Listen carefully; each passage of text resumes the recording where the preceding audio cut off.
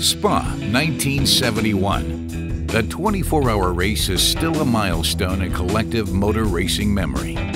The reason for that bears the prosaic abbreviation W109 and has a length of exactly 5 meters.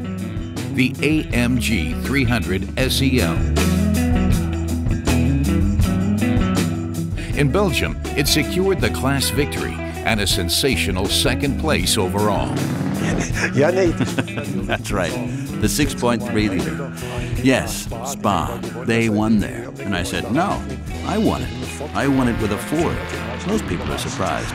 The Capri sort of got lost there. Da etwas unter. Dahinter aber, und das war die große Überraschung, hielt sich erstaunlich gut der nahezu 400 PS starke und 1,7 Tonnen schwere Mercedes 300 SEL.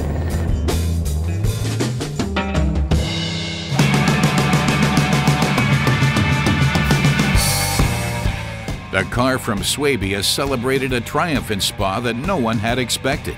Sie waren schon überrascht alle, dass Everyone was surprised. No one expected, even the insiders, that the car was so fast and was so successful. They were all surprised. Not only the spectators and the media, but also the insiders. sondern auch die Insider. But its driver Hans Heyer, only contracted mere hours before the race, and Clemens Schickentanz trusted their unusual piece of sports equipment. When even the Daily News did a piece about it after the race, AMG and Mercedes Benz were on everyone's lips. It was the initial spark for AMG's success. For many, this victory came out of nowhere, and from that moment on, everything changed.